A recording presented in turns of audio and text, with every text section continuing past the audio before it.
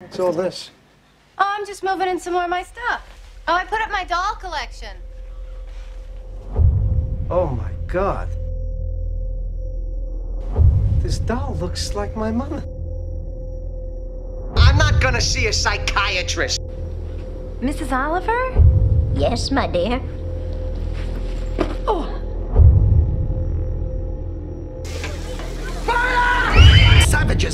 Deserve even the privilege of the Daily Mail, stuffing parcels into mailboxes where they don't belong.